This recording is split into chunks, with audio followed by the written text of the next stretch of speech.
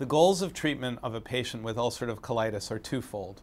The first is to treat the acute exacerbation or attack of ulcerative colitis, and the second is to prevent future recurrences, or at least minimize those recurrences. Since this is an inflammatory bowel disease, the cornerstone of treatment of ulcerative colitis are anti-inflammatories. Ulcerative colitis may be treated with systemic anti-inflammatory medications, including corticosteroids. It may also be treated with topical anti-inflammatory medications.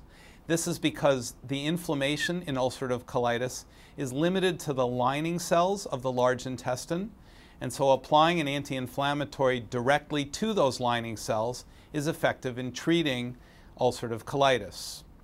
Aminosalicylates are an example of topical anti-inflammatory medications that are effective in treating patients with ulcerative colitis.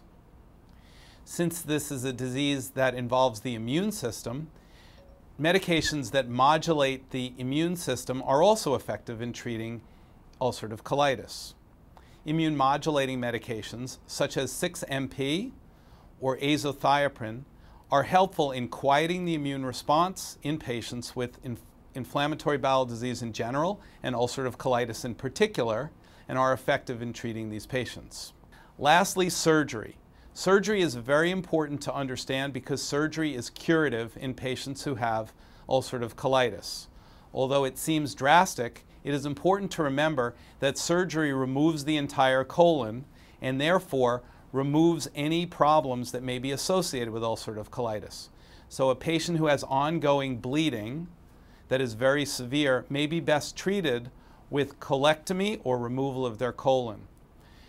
Ulcerative colitis is also associated with a long-term risk of colon cancer, and surgical removal of the colon eliminates the risk of colon cancer in patients who have long-standing ulcerative colitis.